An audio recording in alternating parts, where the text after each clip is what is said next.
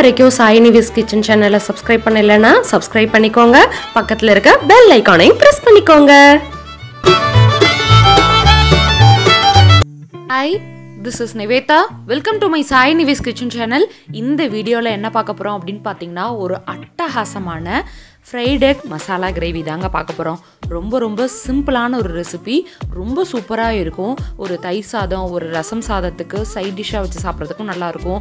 தோசை சப்பாத்தி பூரி இந்த மாதிரி ஐட்டத்துக்கு வச்சு சாப்பிட்றதுக்கும் ரொம்ப நல்லா இருக்குங்க ஸோ வாங்க எப்படி செய்யலான்னு பார்க்கலாம். ஃபஸ்ட் வந்து மசாலா ரெடி பண்ணிடலாங்க. அதுக்கு ஒரு ரெண்டு பெரிய வெங்காயம் அதுக்கு அடுத்தது ஒரு நாலஞ்சு பூண்டு ஒரு இஞ்சி இஞ்சி ஒரு ரெண்டுலேருந்து மூணு தக்காளி. எடுத்து இதை வந்து நல்லா மிக்சியில் பியூரி எடுத்து பியூரி அடித்து எடுத்து வச்சுக்கலாம். ஒரு கடாயை எடுத்துக்கோங்க. கடாயில் ஒரு ரெண்டுலேருந்து மூணு ஸ்பூன் அளவுக்கு எண்ணெய் சேர்த்துக்கோங்க. எண்ணெய் நல்லா சூடாகட்டும். எண்ணெய் நல்லா சூடாயிடுச்சுங்க இப்போ ஒரு அரை ஸ்பூன் அளவுக்கு மஞ்சள் தூள். இது ஒரு அரை ஸ்பூன் அளவுக்கு மிளகாய் தூள் சேர்த்துக்கோங்க. மிளகாய்த்தூள் சேர்த்ததுக்கு அப்புறமா நம்ம எக்கு. அதாவது முட்டை நம்ம அவிச்சு எடுத்து வச்சுக்கணும். எடுத்து வச்சுட்டு நான் நாளாக வந்து கீறி வச்சுருக்கிறேங்க. இது வந்து உங்களோட இஷ்டம் தான் ரெண்டாக கீறிக்கலாம். இல்லை கீராம் கூட வச்சுக்கலாம். பட் கீறிட்டோம் அப்படின்னா அந்த மசாலா ஃபுல்லாக உள்ளே இறங்கி ரொம்ப நல்லா இருக்கும். அதனால் நாளாக வந்து நான் கீறி வச்சுருக்கிறேன். நாலு முட்டை சேர்த்துக்க போகிறேன் இதில் வந்து இந்த ஆயிலே வந்து நல்லா ஃப்ரை பண்ணி எடுத்துக்கலாங்க. பாருங்க நல்லா வந்து ஃப்ரை பண்ணி எடுத்துக்கிட்டேன் நான். ஸோ நல்ல ஒரு கலர் சேஞ்ச் இருக்கும் உங்களுக்கு. ஸோ இப்போ அதை தனியாக எடுத்து வச்சிடலாம். இன்னொரு கடாய் எடுத்துருக்கேங்க. கடாய் வந்து நல்லா சூடாகட்டும்.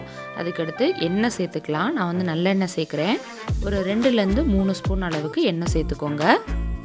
எண்ணெய் நல்லா சூடாயிடுச்சு. இப்போது ஒரு இன்ச் பட்டை மூணு ஏலக்காய் ஒரு நாலஞ்சு கிராம்பு சேர்த்துக்கலாம்.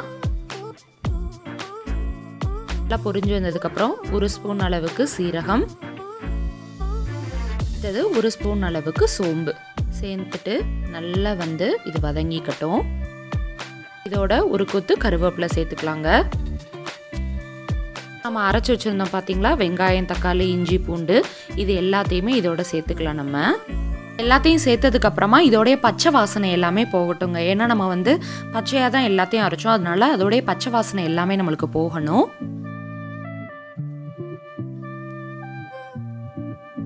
பச்சை வாசனை எல்லாமே போயிருச்சுங்க. பாருங்க. இப்போ நம்ம இதில் மசால் சேர்த்துக்கலாம். காரத்துக்கு ஏற்றாப்புல மிளகாய்த்தூள் கொஞ்சமாக மஞ்சள் தூள் ரெண்டு ஸ்பூன் அளவுக்கு கரம் மசாலா. இவ்வளோதாங்க மசாலா. இது எல்லாத்தையும் நம்ம சேர்த்துக்கலாம். உங்களுக்கு காரம் கூட வேணும் அப்படின்னா நல்லா சாதாரணமாக சேர்த்துக்கோங்க. இப்போ இது எல்லாத்தையும் நல்லா வந்து மிக்ஸ் பண்ணி விட்டு அந்த பச்சை வாசனை அந்த மசாலோடைய பச்சை வாசனையும் போகிற வரைக்கும் நம்ம வந்து நல்லா மிக்ஸ் கொடுக்கலாம். தேவையான அளவு உப்பு சேர்த்துக்கோங்க.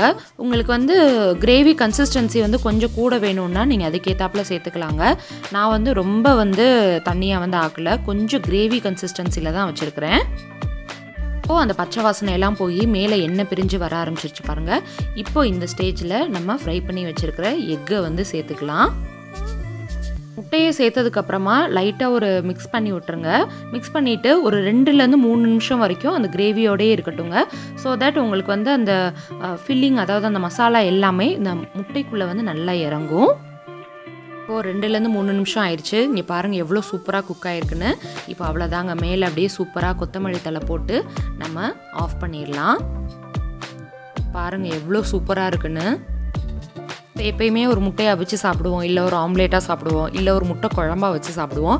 இந்த மாதிரி நீங்கள் கிரேவி வச்சுட்டு நல்ல சூடான சாதத்துக்கு நல்ல சுட சுட சாதத்துக்கு இது அப்படியே சைட் டிஷ்ஷாக வச்சு சாப்பிட்லாம். இல்லை தயிர் சாதத்துக்கு இல்லை ஒரு ரசம் சாதத்துக்கு அட்டகாசமான காம்பினேஷன் ரொம்ப ரொம்ப ரொம்ப ரொம்ப சூப்பராக இருக்குங்க. சில பேர் பார்த்தீங்கன்னா இந்த ஃப்ரைட் ரைஸ் புலாவுக்குலாம் வந்து பார்த்தீங்கன்னா ஏதாவது கிரேவி சைடில் வச்சு சாப்பிடணும்னு ஆசைப்படுவாங்க பார்த்தீங்களா? அவங்களுக்கு கூட இந்த மாதிரி கிரேவி சைடில் வச்சு சாப்பிட்டிங்கன்னா ரொம்ப ரொம்ப சூப்பராக இருக்குங்க. கண்டிப்பாக இந்த வீடியோ உங்கள் எல்லாருக்குமே ரொம்ப பிடிச்சிருக்கும்னு நினைக்கிறேன். பிடிச்சிருந்ததுன்னா லைக் பண்ணுங்கள் கமெண்ட் பண்ணுங்கள் உங்கள் ஃப்ரெண்ட்ஸ் அண்ட் ஃபேமிலிஸ்க்கு ஷேர் பண்ணுங்கள் சேனல் சப்ஸ்கிரைப் பண்ணாதவங்க சப்ஸ்கிரைப் பண்ணிடுங்க பெல் ஐக்கான் கிளிக் பண்ணிக்கோங்க. அப்படின்னா நான் போடுற ரெகுலர் அப்டேட்ஸ் உங்கள் நோட்டிஃபிகேஷனில் ரொம்ப ஈஸியாக வந்துகிட்டே இருக்கும். You, thank you, thank you. Thank you சாய்குட்டி சாய்குட்டி இந்த எக்கு பிடிச்சிச்சா உனக்கு Pieces. எவ்வளோ பிடிச்சிச்சு My pieces. நல்லா இருந்துச்சா Yes. ஓகே நீங்களும் செஞ்சு பாருங்க Easy fire. Okay done. Bye Bye. Bye Bye.